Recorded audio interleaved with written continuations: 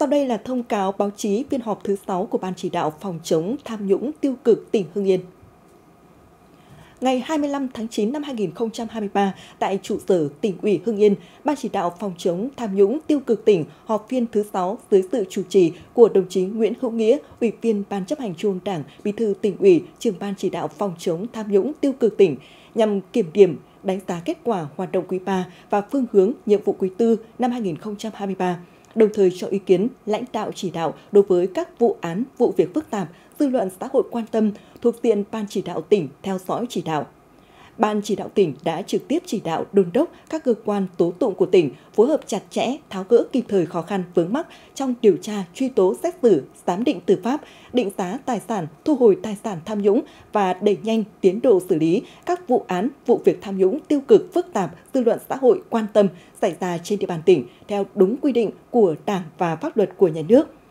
Phối hợp với tòa án cấp cao tại Hà Nội xét xử phúc thẩm một vụ án theo đúng quy định của pháp luật. Ban chỉ đạo tỉnh tích cực chỉ đạo các cấp ủy, tổ chức đảng tiếp công dân, tiếp nhận giải quyết đơn thư tố giác, tin báo về tội phạm theo quy định, đặc biệt là thành lập đường dây nóng để tiếp nhận thông tin, phản ánh của nhân dân về công tác phòng chống tham nhũng. Ban chỉ đạo tỉnh đã chỉ đạo các cơ quan chức năng triển khai giải pháp phòng ngừa tham nhũng tiêu cực, nhất là về công tác cán bộ, luân chuyển cán bộ, định kỳ chuyển đổi vị trí công tác, bố trí bí thư, chủ tịch cấp xã không là người địa phương – kê khai xác minh tài sản, thu nhập của cán bộ đảng viên, giả soát khắc phục bất cập sơ hở và sửa đổi, hoàn thiện các quy chế, quy định cơ chế chính sách. Ban chỉ đạo tỉnh đã hoàn thành cuộc kiểm tra về công tác phòng chống tham nhũng tiêu cực đối với 11 tổ chức đảng và 13 đảng viên, chỉ đạo Ủy ban Kiểm tra tỉnh ủy và Thanh tra tỉnh đẩy mạnh công tác thanh tra, kiểm tra trong một số lĩnh vực nhạy cảm, phức tạp, tiềm ẩn nhiều nguy cơ tham nhũng, vi phạm pháp luật trọng tâm là kết thúc cuộc thanh tra kiểm tra dấu hiệu vi phạm liên quan đến các dự án có thầu do công ty cổ phần tiến bộ quốc tế AIC và các đơn vị liên quan thực hiện. Nhờ đẩy mạnh công tác phòng chống tham nhũng tiêu cực và sự vào cuộc quyết liệt của cả hệ thống chính trị, sự hỗ trợ của nhân dân, tình hình tham nhũng tiêu cực tiếp tục có chiều hướng chuyển biến tích cực,